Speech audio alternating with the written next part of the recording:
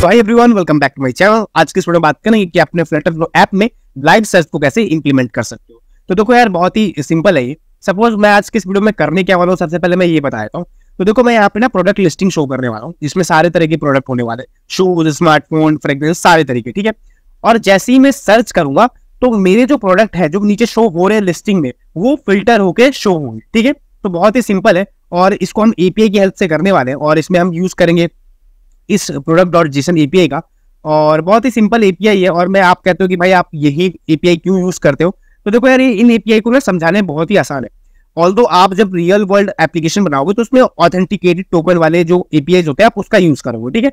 But आप अगर एक बार कॉन्सेप्ट समझ जाओगे ना तो वो एपीआई यूज़ करना भी बहुत ही ईजी है, ठीक है? तो देखो मैं इस यूज़ करूँगा, इनकी जो सर्च एपीआई है सपोज़ इस एपीआई को मैं कॉपी करके पेस्ट करके दिखाता हूँ। ये करता क्या है? आपको सर्च फंक्शनैलिटी प्रोवाइड करता है, ठीक है? सपोज़ इन्होंने फ़ोन सर्च किया तो मेरे को फ़ोन से रिलेटेड डेटा मिल गया। और अगर यहाँ पे मैं आईफोन डालू तो ये मेरे को आईफोन से रिलेटेड सारे प्रोडक्ट शो कर देगा, ठीक है? अगर मैं यहाँ पे कुछ भी नहीं डालू ब्लैंक डालूँगा तो मेरे को ये सारे प्रोडक्ट देगा, ठीक है? जो भी इसके पास प्रोडक्ट अवेलेबल है, ये मेरे को सारे देगा, क्योंकि मैंने यहाँ पे सर्च फ़ील्ड में कुछ दिया ही नहीं है तो सर्वर पे जो भी प्रोडक्ट थे, इससे मेरे को सारे प्रोडक्ट रिटर्न करवा दिए, ठीक है? तो इसी एपीआई का मैं यूज़ करने वाला हूँ अपने ऐप में तो मैं सिंपली इसको करता हूँ कॉपी और अपने ईपीआई कॉल में जाके ईपीआई को सेटअप करता हूँ आप कुछ भी नाम दे दो, मैं यहाँ पे प्रोडक्ट एपीआई दे रहा हूँ और यहाँ पे मेरा मेथड गेट रहेगा और मैं यूआरएल को पेस्ट करता हूँ, ठीक है? अब यहाँ पे मेरे को कोई भी एक वेरिएबल बनाऊँगा। वेरिएबल इसलिए बना रहा हूँ क्योंकि मैं डायरेक्ट ये नहीं लिख सकता। सपोज़ मैं यहाँ पे फ़ोन लिख के इसको सेव नहीं कर सकता। अब आप बोलोगे क्यों नहीं कर सकते? क्योंकि मेरी जो ये वैल्यू है, वो स्टैटिक नहीं होने वाली, ये डायनेमिक होने वाली है, ठीक है? तो मैं सिंपली क्या करूँगा? इसकी जगह पे एक वेरिएबल बनाऊँगा, जिसका नाम रखूँगा मैं सर्च वैल्यू और इसको कॉपी करके एक वेरिएबल डिक्लेयर कर दूँगा, ठीक है? और इसका जो टाइप रहेगा स्ट्रिंग रहेगा, ठीक है? मैं सेव करता हूँ और एक बार टेस्ट करते हैं तो सपोज़ यहाँ पे मैं सर्च वैल्यू में रखता हूँ फ़ोन और यहाँ पे मैं करता हूँ टेस्ट तो ये मेरे को आप फ़ोन से रिलेटेड सारे प्रोडक्ट दे देगा, ठीक है? तो अब मैं क्या करूँगा? जेसन पार्ट डिफाइन करूँगा, क्यों? जेसन पार्ट होता क्या है? जेसन पार्ट होता है कि पूरे जेसन में से कुछ स्पेसिफिक पार्ट कुछ स्पेसिफिक डेटा को आपको अगर रिट्रीव करना है तो आप जेसन पार्ट डिफाइन कर सकते हो। ये मैंने पिछली वीडियो में बहुत सारी वीडियो में बताया है, ठीक है? तो मैं सिंपली क्या करूँगा? रिकमेंडेड में जाकर चूज़ कर लूँगा। आप मैनुअली भी लिख सकते हो। और यहाँ पे मैं इसका नाम देता हूँ। प्रोडक्ट डेटा ठीक है? और मैं करता हूँ सेव तो देखो यार, हमने एपीआई को सेटअप कर लिया है। अब हमें सबसे पहले क्या करना है? प्रोडक्ट लिस्टिंग को शो करना है। मतलब जितने भी प्रोडक्ट हमारे एपीआई से आ रहे हैं, उसको शो करना है। तो ये बहुत ही इजी प्रोसेस है। और मैंने अपने पिछले वीडियोज़ में ही बता रखा है इसको करना कैसे। मैं सिंपली जाता हूँ अपने लिस्ट व्यू में। और लिस्ट व्यू में मैं बैक एंड क्वेरी को ऐड करूँगा। क्यों?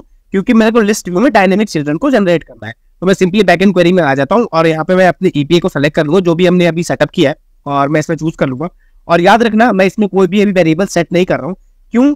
क्योंकि अभी हम सिर्फ़ प्रोडक्ट लिस्टिंग को शो करा रहे हैं, इसमें कोई भी सर्च वैल्यू को इंप्लीमेंट नहीं करा रहे तो मैं इसको करता हूँ कन्फर्म और मैं जाता हूँ और डायनेमिक चिल्ड्रन को जनरेट कर लेता हूँ। तो मैं यहाँ पे कोई भी वेरिएबल का नाम देता हूँ, मैं लिखता हूँ प्रोडक्ट आइटम और इसमें अपने ईपीआई का रिस्पॉन्स चूज़ कर लेता हूँ, ठीक है? जो भी हमने जैसे बात दिया था, वो पूरा प्रोडक्ट डेटा के नाम से आ रहा है। मैं सिंपली इस पर क्लिक करता हूँ और कंफर्म करके जैसे मैं कंफर्म करूँगा और ओके करूँगा तो आप मेरे से ये कह रहा है कि भाई आप अपने प्रोडक्ट में वेरिएबल सेट कर दो मतलब नेम की जगह पे प्राइस की जगह पे इमेज की जगह पे, जो भी आपकी जो डेटा आ रहा है एपीआई से, उसको सेटअप कर लो, ठीक है?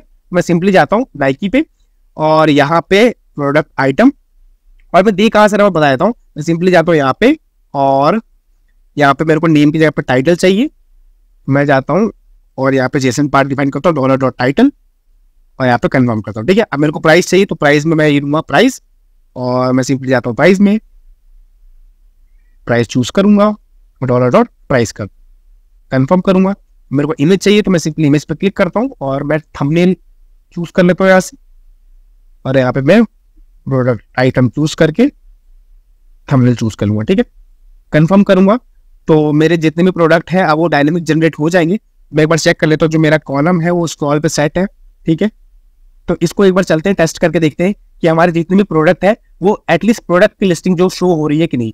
वंस ये शो हो जाएगी, उसके बाद हम सर्च को इंप्लीमेंट करेंगे। तो मैं सिंपली एक बार टेस्ट मोड पर क्लिक करता हूँ और ये हमें टेस्ट मोड ओपन करके दे देगा। थोड़ा सा टाइम लेगा तो उसको करते हैं हम स्किप तो देखो यार, मैं आ चुका अपना टेस्टिंग मोड पे और यहाँ पे मेरे को सारे प्रोडक्ट शो हो रहे हैं, जो भी मेरे को ईपीआई से मिल रहे हैं। तो मतलब हमारा पहला काम तो हो चुका है कि प्रोडक्ट लिस्टिंग तो शो हो रही है, ठीक है? अब हमारा दूसरा काम क्या है? अब हमारा दूसरा काम ये है कि हमें इस सर्च बार को इंप्लीमेंट करना है। सपोज़ अगर मैं यहाँ पे लिखूँ आईफोन तो मेरे को नीचे जो प्रोडक्ट है वो मेरे को आईफोन से ही रिलेटेड चाहिए। तो ये बहुत ही सिंपल है, आपको करना क्या पड़ेगा? इस लिस्ट व्यू को और इस सर्च बार को आपस में सिंक करवाना पड़ेगा, जिससे मैं कुछ भी सर्च करूँ तो मेरे को उसी से रिलेटेड डेटा मिले। तो ये करने के लिए आपको क्या करना पड़ेगा? सिंपली मैं ऐप में चलता हूँ। मैं जा रहा हूँ लिस्ट व्यू में, जहाँ पे मैंने एक वेरिएबल बनाया था अपनी एपीआई में सर्च वैल्यू अगर आपको याद हो तो। तो मैं जाता हूँ एडिट में और यहाँ पे मैंने अभी कोई भी वेरिएबल पास नहीं किया मतलब कोई भी वैल्यू पास नहीं किया जो डेटा आ रहा है, वो बिना फ़िल्टर होकर आ रहा है, ठीक है? तो अब मैं क्या करूँगा? सेट वेरिएबल करूँगा और यहाँ पे सर्च वैल्यू अब आप कहोगे भाई इस पर सर्च वैल्यू में वैल्यू आएगी कहाँ से? ठीक है क्योंकि मेरे को वैल्यू पता नहीं कि भाई यूज़र फ़ोन सर्च करेगा या यूज़र स्मार्टफ़ोन सर्च करेगा ठीक है मुझे नहीं पता।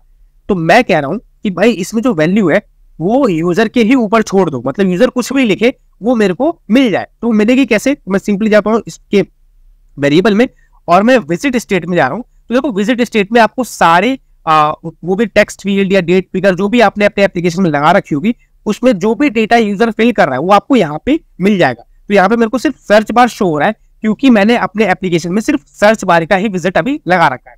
तो मेरे को जो भी वैल्यू यूज़र लिखेगा तो मेरे को यहाँ पे वो मिल जाएगी सर्च बार में तो मैंने इस पर क्लिक किया और यहाँ पे मैं कंफर्म करता हूँ, ठीक है? अब इससे होगा क्या कि यूज़र कुछ भी लिखेगा अपने सर्च फ़ील्ड में, वो जो डेटा होगा, वो मेरे एपीआई में ऑटोमेटिक सिंक होके चला जाएगा और मेरे को उसी से रिलेटेड डेटा मिल जाएगा। अब देखो, सारी चीज़ें हो चुकी है। अब आपको सिर्फ़ एक लास्ट ऑप्शन को चेक करना है, वो है सिंपली आप इस पर क्लिक करोगे और यहाँ पे एक ऑप्शन होता है अपडेट पेज ऑन चेंज उसको चेक कर देना है, ठीक है? और यहाँ पे टाइमिंग देनी है सपोज़ मैं यहाँ पे 300 हंड्रेड दे रहा हूँ थ्री हंड्रेड मिली सेकेंड अब ये है क्या? अब आप पूछोगे, ये है क्या?